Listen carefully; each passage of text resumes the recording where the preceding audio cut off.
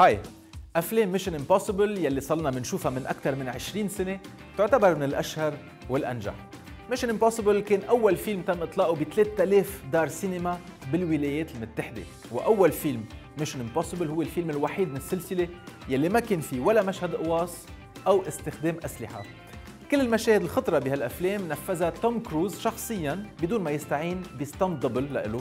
مثل مشهد برج خليفة ب Mission Impossible Ghost Protocol ومشهد بيكون فيه برات الطيارة ب Rogue Nation مين قال إنه شركة Apple دفعت 15 مليون دولار بالجزء الأول حتى تكون كل ال computers بهالفيلم من Apple أنا منال بشوفكم بكرة.